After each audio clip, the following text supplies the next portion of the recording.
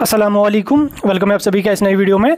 तो आज का ये वीडियो आप सभी कैंडिडेट्स के लिए बहुत ज़्यादा इंपॉर्टेंट रहने वाला है। इस वीडियो में हम बात करेंगे जेके बोपी के कौन से एप्लीकेशन फॉर्म जब वो आने वाले एक दो दिनों में जिनके रजिस्ट्रेशन शुरू होने जा रही है, उनके बारे में मैं आपको इस वीडियो में अपडेट दे दूँगा। वीडियो आपको पूरा एंड तक देख लेना है। चैनल को भी सब्सक्राइब कर देना और टेलीग्राम ग्रुप हमारा ज्वाइन कर देना। लिंक उसकी आपको डिस्क्रिप्शन में मिल जाएगी। तो चलिए वीडियो को शुरू कर लेते हैं और देख लेते हैं क्या कुछ इंपॉर्टेंट इन्फॉर्मेशन आप कैंडिडेट्स के लिए है। तो आप सभी को पता है कि अभी जेके बोपी लगातार एप्लीकेशन फॉर्मस रिलीज़ कर रहे हैं। इस बीच यहाँ पर बी बी टेक की रजिस्ट्रेशन कंप्लीट हो चुकी है। B nursing paramedical technology courses की रजिस्ट्रेशन कंप्लीट हो चुकी है, कल उसकी लास्ट डेट थी। तो आज जो है यहाँ पे ट्वेल्थ बेस पैरामेडिकल डिप्लोमा जिसमें हमारा जीएनएम भी आता है एम आर भी आता है एमआरटी भी आता है डी फार्मेसी भी आता है एमएलटी भी आता है ऑपरेशन थिएटर टेक्नीशियन भी आता है फिजियोथेरेपी का डिप्लोमा भी आता है, या मेडिकल लेब का भी आता है। बहुत सारे डिप्लोमा कोर्सेज हैं, जिनकी रजिस्ट्रेशन की प्रोसेस आज से शुरू हो चुकी है तो आप अपना फॉर्म आज से सबमिट कर सकते हैं। अगर आप हमसे फिलअप करवाना चाहते हैं तो डिस्क्रिप्शन में व्हाट्सअप नंबर मिल जाएगा, उस पर कॉन्टैक्ट करके अपनी डिटेल्स हमें फॉरवर्ड कीजिए, हम आपका एप्लीकेशन फॉर्म सबमिट कर देंगे। तो यहाँ पर हम पहले बात करेंगे कि जो आने वाले दिनों में एप्लीकेशन फॉर्म लगने वाले हैं, वो किस कोर्स के लिए लगने वाले हैं और उनका फ़ी वगैरह क्या यहाँ पे आपको रहने वाला है। तो चलिए पहले देख लेते हैं हम आने वाले एप्लीकेशन फॉर्म्स के बारे में। सबसे पहले सिक्स मई से आपके यहाँ पे दो रजिस्ट्रेशन की प्रोसेस शुरू होने जा रही है। एक यहाँ पे आपका tenth pass paramedical diploma courses और दूसरा यहाँ पे जी एन लेटरल एंट्री अब दोनों की मैं एलिजिबिलिटी आपको थोड़ा सा समझा देता हूँ। जो एफ़ और एम एम कोर्सेज हैं, उनके रजिस्ट्रेशन यहाँ पे छः मई से कल यानी कि परसों से शुरू होने जा रही है और ट्वेंटी उसकी लास्ट डेट रहने वाली है। एफ़ एक डिप्लोमा है एम एम यहाँ पे दूसरा डिप्लोमा है। दो डिप्लोमाज यहाँ पे हैं।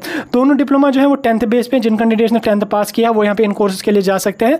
या जिन्होंने अभी टेंथ का एग्ज़ाम दिया, वो भी इन कोर्सेज के लिए अप्लाई कर सकते हैं। इनमें आपको कोई भी इंट्रेंस नहीं होता है। टेंथ के मार्क्स के बेस पे इन कोर्सेज में आपकी सिलेक्शन हो जाती है। इंट्रेंस वगैरह आपको कुछ भी यहाँ पे नहीं लगता है, ठीक? तो इनकी जो रजिस्ट्रेशन होगी वो छः मई से लगने वाली है। तो रजिस्ट्रेशन के लिए आपको जो वो फॉर्म फिलअप करना पड़ेगा, जिसकी फ़ी आपको फाइव हंड्रेड रुपीज़ जो है वो पे करना पड़ेगा। इंट्रेंस कुछ भी नहीं होगा। ऑनलाइन आपको अप्लीकेशन फॉर्म अपना सबमिट करना है, जो आपकी परसों से रजिस्ट्रेशन हो जाएगी। डॉक्यूमेंट्स वगैरह के बारे में मैं आपको आने वाली वीडियो में बताऊँगा, या थोड़ा सा मैं थोड़ा सा अभी बता देता हूँ। इनमें आपको डोमिसाइल सर्टिफिकेट लगेगी टेंथ की मार्कशीट लगेगी, अगर है तो ठीक है, नहीं है तो कोई इशू नहीं है। और उसके साथ साथ आपको यहाँ पे डेट ऑफ़ बर्थ सर्टिफिकेट होनी चाहिए एट्थ वगैरह की जो आपके पास होगी ऑलरेडी अगर नहीं अपने स्कूल से ले ले सकते हो और कैटेगरी आपके पास कोई है, वो यहाँ पे आप लगा सकते हैं। ज़्यादा बाकी डॉक्यूमेंट्स की यहाँ पे इसमें कोई ज़रूरत यहाँ पे नहीं है। तो ड्यूरेशन का डेट दो साल का होता है, दो साल में आपका डिप्लोमा कंप्लीट हो जाएगा। ये तो हो गया एक कोर्स का। दूसरा यहाँ पे आपका जी एन लेटरल एंट्री ठीक? जी एन लेटरल एंट्री में जिन कैंडिडेट्स को जाना होगा, एक होता है जी जिसके रजिस्ट्रेशन आज से शुरू होने जा रही है। एक होता है जी एन लेटरल एंट्री जिसकी छः से यहाँ पर रजिस्ट्रेशन शुरू हो जाएगी। इसके लिए जो अपलीकेशन फॉर्म होंगे, वो नेक्स्ट डे से यहाँ पर शुरू होने जा रहे हैं। सिक्स तक आपकी शुरू हो जाएगी। तो इसके लिए आपको वन थाउज़ेंड फ़ी पे करना पड़ेगा इसकी एलिजिबिलिटी की। अगर मैं बात करूँ जिन कैंडिडेट्स ने F M P H W M M P H W का डिप्लोमा कंप्लीट किया है, वो ही कैंडिडेट जो है वो J N M lateral entry के लिए एलिजिबल है, वही जी एन एम एंट्री के लिए यहाँ पे अपना फॉर्म सबमिट कर सकते हैं। तो ये दो एप्लीकेशन फॉर्म जिनके रजिस्ट्रेशन आने वाले दिनों में स्टार्ट होने जा रही है, जिनका अपडेट मैंने आपको दे दिया एलिजिबिलिटी सब कुछ, जो मैंने आपको समझा दिया डॉक्यूमेंट्स भी मैंने आपको बता दिया।